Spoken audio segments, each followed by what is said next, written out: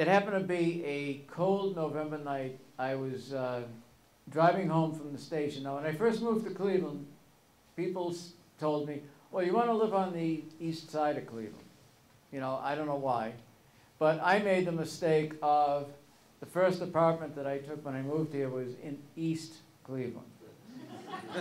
I realized I'd made a mistake when I thought I heard fireworks going off one night and they, they weren't fireworks.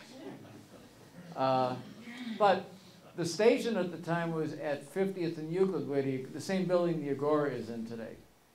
And um, except we were in a windowless bunker. Uh, that, uh, it, it was a decrepit place, like I said. But all, all we would see every day, all I would see is because I just moved to Cleveland, I drive from East Cleveland down Euclid Avenue to 50th and Euclid and drive home at the end of the night. So all I was seeing, I would drive through back then, as soon as you cross East 55th Street, there was this little sign that said, you're entering Mayor Perk's Model Cities program. Well, the Model Cities program was was nothing but abandoned buildings all the way to East 105th. And you hit East 105th and there was a theater and a little bit of life and some nightclubs, and then you go back to more desolation until you hit University Circle. And then once you pass University Circle in that area, you go back to devastation all the way to where I live. So it was one particular, one of those, those, those November evenings where it's just sleet and miserable and all that, and I'm driving home from work, and Denny plays Desolation Row by uh, Bob Dylan. And if you've heard that song, you know the lyrics. It's really, a, it's a downer song. Uh, and it was kind of the perfect soundtrack. Now, at the same time, uh, Cleveland was going through a very rough period of time, and Fortune 500 companies were leaving. And, and Cleveland used to be home of so many Fortune 500 companies, and they were all leaving to move elsewhere. And I think it might have been Diamond Shamrock was the latest one to say, you know, where they announced, we are moving our corporate headquarters out of Cleveland. We don't know where we're moving to, we just want out of Cleveland. And all you would read about with Cleveland is, you know, the, the, the Cuyahoga River catching on fire was still fresh in everybody's minds. Uh, when Perk opened the factory, when the Sutherland torch and, uh, torch and caught his hair on fire, that was still fresh in everybody's mind. And the joke was, you know, what city did both the river and the mayor's hair catch on fire, but not at the same time? So I mean, all I'm hearing since I moved to Cleveland from Boston is all this, how terrible the city is and how everybody's moving out. And I'm, you know, I'm from out of town and I'm looking at it a different way. I'm seeing a park system, I'm seeing a lake, I'm seeing a lot of potential in the city. I'm, I'm looking at it from totally different eyes. Uh, to make a long story short, you know, I, Denny's playing Desolation Row, it's sleet, I'm driving through all these, uh, you know, row after, you know, block after block of abandoned buildings. And it's like, you know, I say, God, this city is dying. And then it just flashed like, well, what would you expect to see flying over a dying city? Buzzards. And so I told, next day he came into work, I mentioned to Denny, I said, how about a buzzard? And Denny, a buzzard? And I said, no, hear me out. And I said, it's your fault too. You, and I explained the whole thing to him. And he kind of said, yeah, that may actually work. But then who is going to draw the buzzard? And we did have this person, this artist, I can't remember his name right now, uh, who was doing some ads for us. He worked at Tokyo Shapiro. Do you remember Tokyo Shapiro? I, the strangest name for an audio store in the world. And it, it got, I guess, I, I, all I can tell is that they got the name Tokyo Shapiro because all they sold was made in Japan audio equipment. And Shapiro, I think, was the name of the people that founded it, so that's how they got their name. But anyway, this artist worked at Tokyo Shapiro, and we, he was sort of moonlighting and doing odds and ends. He wasn't a great artist, but we looked and said, okay, maybe he's the guy who can draw the buzzard. Well, Tokyo Shapiro found out he was moonlighting and banned him from doing anything other than Tokyo Shapiro work. So we were at a loss for uh, having an artist. And we had a show on at the time called the National Lampoon Radio Hour. And it was like Sunday nights at 9 or 10, I think it was Sunday nights at 9 o'clock. And they had run a special, and it was actually the, the cast that ended up becoming the, the first cast of Saturday Night Live. Belushi and Aykroyd and Gilda Radner, and all these people were part of uh, this National Lampoon Radio Hour. And they ran the Nixon in Exile special. They did a one hour on Nixon resigning and all this. And 7 Up uh, was one of the sponsors, one of the national sponsors of the show. Well, the chairman of 7 Up was very close to Nixon, so needless to say, when that ran, he was insulted. He pulled his advertising, and that was a big chunk. National Lampoon Radio Hour couldn't afford to do an hour show a week. They could do a half hour show, but not an hour. So they called up all the stations explaining what happened and the Nixon thing. And, you know, to make a long story short, most stations, or pretty much all stations agreed, okay, we'll run the half hour show. You know, instead of running the full show, we'll run the half hour show. And what they didn't tell us is National Lampoon radio, play, uh, the, the radio people played a joke on us. At the end of the half hour, they said, this radio station is censoring the next half hour of this show. If you don't like it, please notify the station immediately. So I come in Monday morning into work, and there all these little pink, you, you know, this is pre-voicemail. I, uh, always think, you know, while you were out, those, those, you know, telephone messages. Dozens and dozens of them, of people, you know, I mean, just saying, I'll never listen to you again, and you're a censorship. And I'm, I'm trying to figure out what's wrong, because I didn't hear that on the air the previous night. I didn't hear the, the close.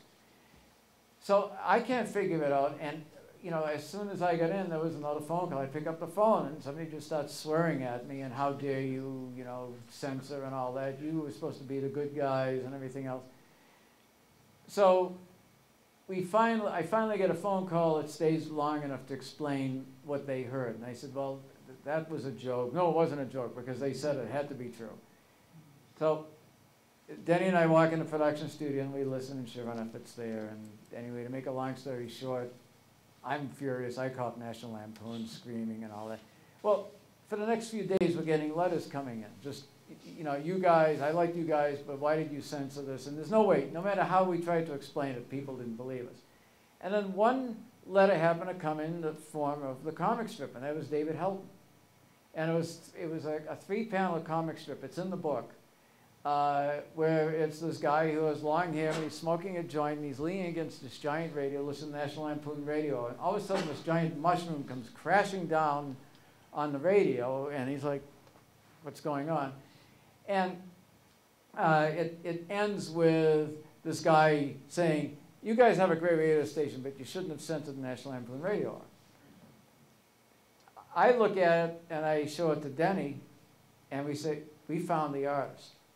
Now, the only trouble, the return address of David West Boulevard, Cleveland. That was it. There was no other address. And so we tried to track him down. I was like, well, who in the world? Okay, we know he lives on West Boulevard. We know he lives somewhere. We know his first name is David. What do we do from there? Somehow, through a whole process of elimination, we did reach American Greetings, and is there a David that works there and all that. And it turns out that he doesn't get the message, but his girlfriend, who also worked at, at uh, American Greetings, got the message and passed it on to him. And we made contact, and uh, we explained to him. He, he came down to the station, and uh, we explained that we have this idea to do a buzzing. And uh, you know, we have this mushroom logo, we sort of want to phase it out, but we can't phase it out right away. And on top of that, the management of the station, the owner and the managers, that the people I had to answer, absolutely hated the buzzard. So what do you, what's a buzzard? What does it have to do with rock and roll? What does it have to do with Cleveland? What does it have to do with anything? And we didn't want to tell anyone the reason how we came up with the idea. We just said, well, it's cool. You know, we just want to try something different. And you know, it, it, this is also in the book, and it's too long to get into, but it took us a long while to establish the buzzard where, you know, the management of the station finally said, yeah, that's a good idea, go with it. We were already, we were already going with it. What we did is we set up the, this, in those days, you know, you could, uh, you know, trade advertising with uh, different magazines, and there was a magazine that come out called uh, Zeppelin. And we had an ad in it every week. And so we decided, well, you know, we'll use that, and David drew the buzzard, he drew the first buzzard ad, which I'll, I'll show in a, in a few minutes. And, uh, so it was running for weeks. We knew the, the owners and the management weren't gonna read Zeppelin magazine, so we were sort of flying under the radar. And, you know, it was, it was the early days, so you could get away with those kind of things. But we sort of forced the buzzard issue on everyone, and it, it, it worked. But David, in the process, David Helton moved from West Boulevard to, uh, Lake Road, right near Cove. There's that gas station there, or it's, I think it's Mr. Tire or something now. Well, David lived in the first apartment building to the east of that gas station in a basement apartment. And it was in that basement apartment that he drew the first buzzard. And also, all this animation you see here, David did that animation in his living room. Frame by frame, what he, he and a friend of his, uh, who also worked at American Greetings, Jim Elliott, they literally, you know, got all the cellophane, all this, all the cells, and frame by frame, put those, those together. And so everything that was done back at that radio station, was, I mean, it was literally homegrown. And you can take that any way you, you want. But, uh, so I mean, for, for all practical purposes, you can say that the buzzard was invented in Lakewood. Uh, also, there are two other, two other uh, parts of Lakewood that, that come into play with MMS. Uh, Jeff Kinzbach was born in, uh, he was actually born in LA, but moved, his, his parents are originally from, and they moved back to Cleveland, they moved back to Cleveland and settled in Lakewood.